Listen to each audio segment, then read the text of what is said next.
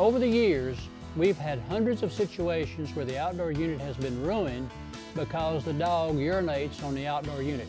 This is the copper coil and this is the aluminum plate fin, but as you can see, this aluminum plate fin is completely deteriorated where it's worthless. Build your little short fence out of wire or uh, a little stick fence or whatever about this high and about a foot away from your unit so that the dog can't get in here and urinate on your unit.